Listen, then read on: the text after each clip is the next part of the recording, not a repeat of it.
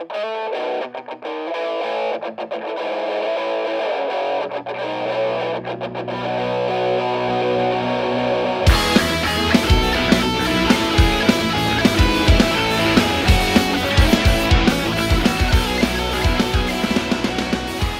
a todos y bienvenidos a este nuevo vídeo. En el día de hoy vamos a ver qué son los grados día.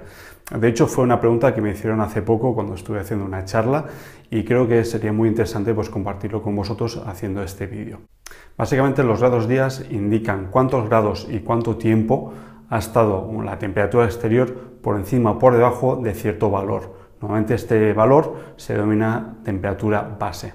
Básicamente los grados días nos permite, por un lado, poder normalizar los consumos en función de la temperatura exterior y por otro lado nos permite hacer proyecciones de cuáles van a ser los consumos en función de esa temperatura exterior, evaluar los potenciales ahorros en función de cómo regulemos nosotros la temperatura interna de nuestro edificio y por otro lado es un EMPI que nos permite ah, mantener un control de nuestro proyecto de eficiencia energética. Podemos distinguir dos tipos de métricas, lo que se denomina grados días calefacción y grados días refrigeración, en función de cuál sea la temperatura base que escogemos a la hora de hacer el cálculo.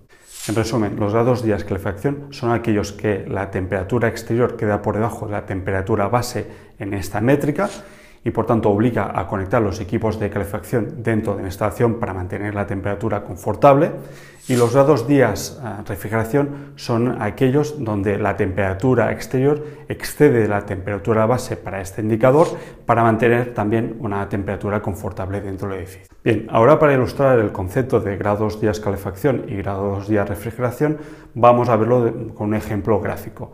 Imaginemos que ponemos una temperatura base para grados día calefacción de 15 grados y una temperatura base de refrigeración de 18 grados.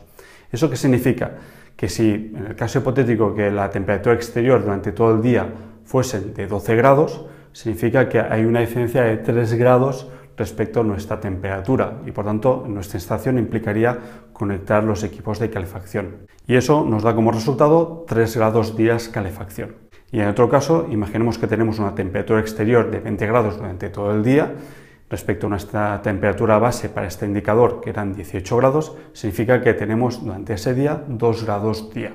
Bien, si no tenemos la posibilidad de poder hacer esos cálculos con tanta exactitud, porque no tenemos los dispositivos de medida suficientes para hacer estos cálculos, podemos aprovechar la información de estaciones meteorológicas y poder hacer un cálculo, una aproximación más sencilla, pero también muy efectiva.